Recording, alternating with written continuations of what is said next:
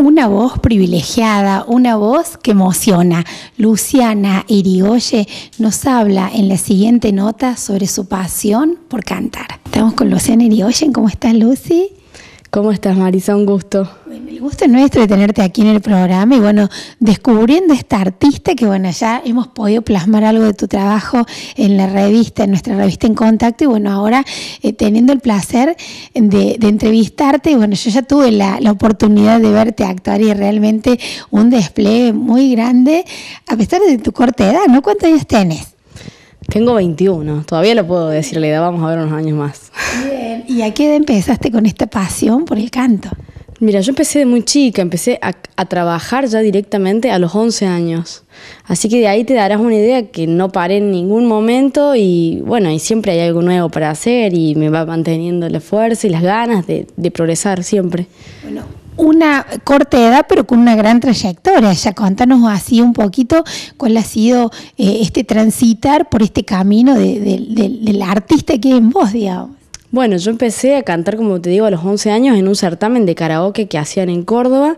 Me presenté a cantar, pero a mí me daba mucho miedo cantar, era muy tímida en ese momento, cosa que no es hoy.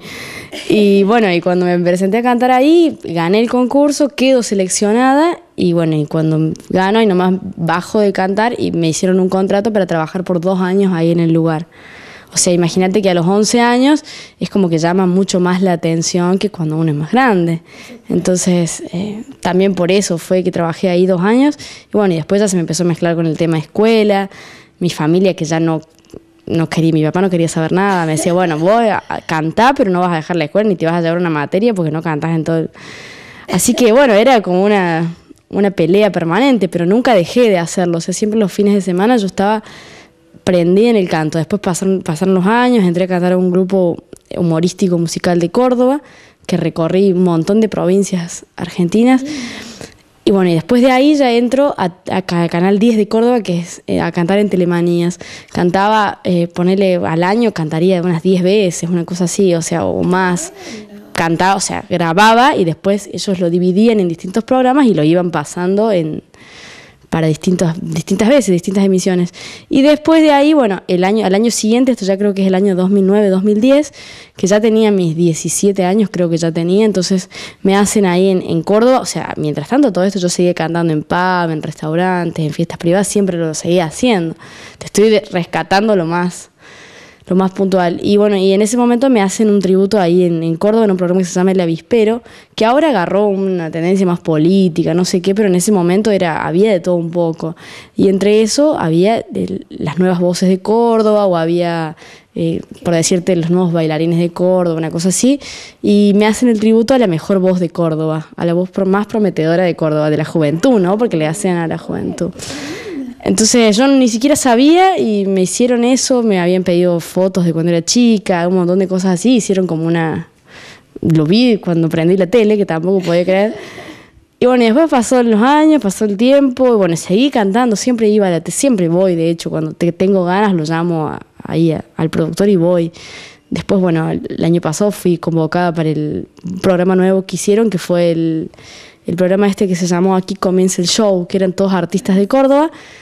Y bueno, y a mí me hicieron como una edición especial de los artistas de Córdoba, porque ya me conocía de hace mucho tiempo, y salí más o menos en 22 programas de la temporada. Bueno, y además, eh, quienes tuvimos la suerte de escucharte, uno cuando escucha un cantante más allá de que conozco no de, la interpretación musical porque bueno yo no tengo oído ni para tocar timbre te digo pero uno cuando va a una fiesta o cuando asiste a una reunión lo que busca es que el repertorio de ese artista también sea entretenido. Y vos pasas por todos los géneros lo que te pidan ella pregunta lo que quieran tiren nombre y largaba.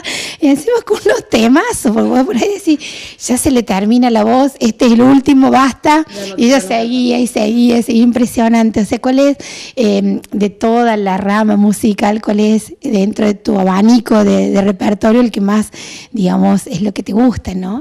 Bueno, mira, eh, es complicada la pregunta que me haces. Yo siempre digo que lo que yo amo hacer es cantar. De ahí a cantar un pop, a cantar una cumbia, a cantar... No te No me hace problema. Yo creo que una de mis misiones en la vida es entretener.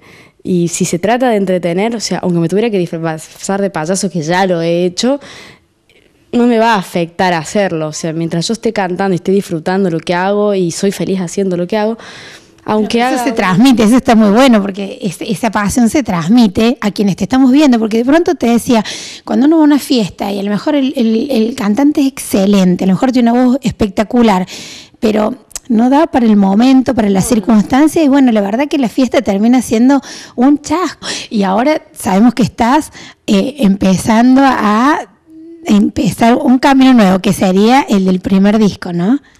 Sí, lo empecé hace, hace un tiempito ya y bueno, es un camino importante para uno que hace esto durante muchos años. Para mí ya prácticamente hace 11 años que estoy y no había tenido la posibilidad de hacerlo. O si bien lo había tenido la posibilidad de hacerlo, elegí otra cosa hacerlo, pero es muy importante para un disco, para un solista, para un músico, para, para un artista tener un disco es por decirte, la carta de presentación de uno. Más que decir estuve en Punta Cana cantando en los hoteles, para mí es más importante decir tengo este disco que es fruto de mi esfuerzo. ¿Y algún nombre para el disco o estamos ahí? No, todavía no hemos, no hemos hablado nada ahí con la productora. No hemos hablado nada ni de nombre ni de nada. Estamos todavía haciendo selección de temas, haciendo arreglos, pero todavía no, no hemos hablado nada. Vos en tu fondo, en tu interior, ¿cuál es ese tema que no va a faltar en el disco? un tema que no va a faltar en el disco. Bueno, de hecho, creo que por ese tema me dieron bolilla para hacer un disco. Por primero yo, sin duda. No me alegro mucho eh, que sigan estos éxitos y bueno, seguramente nos estaremos viendo en algún próximo espectáculo que esté, que esté por aquí por Río Cuarto. Muchas gracias. Te invito, aprovecho para invitarte. El 30 de noviembre sí voy a estar en Sacrosa presentando el adelanto del nuevo disco. Bueno, allí estaremos si Dios quiere.